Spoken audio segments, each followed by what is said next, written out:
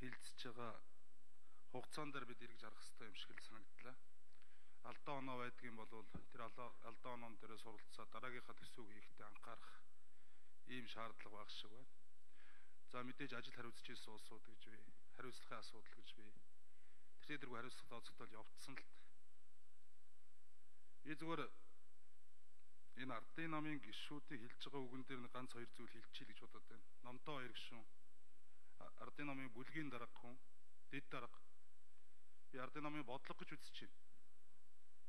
Өчигдөр хэвлийн баг хурлын мэдээлэл бүлгийнхаа мэдээлэл хийхдээ бид засагт ороод ганцхан ажил хийсэн.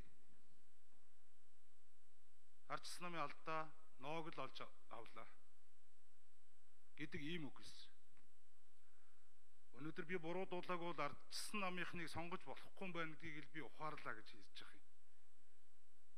Энэ ажил хариуцаад тэр ажил хариуцсан улсууд нь алдаа оноо гэж байдаг болвол тэр улсууд дээр нь хариуцлага тооцох асуудал ирдэг болохоос биш ардчсан намын шудраг мөрөөрөө ажиллаа хийж байгаа мянган мянган гишүүдийг хавтгаруулж ярих нь бол би бол энэ буруу гэж байна.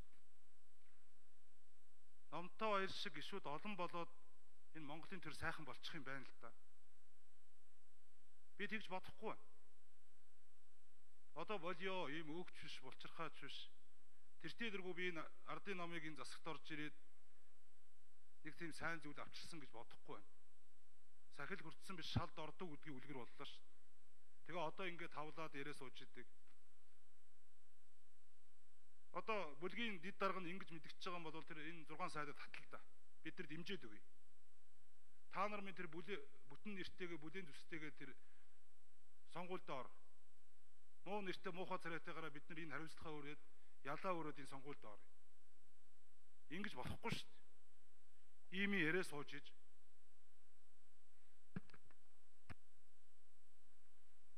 үг хэллээ. Дастур зөвшөө алга байна.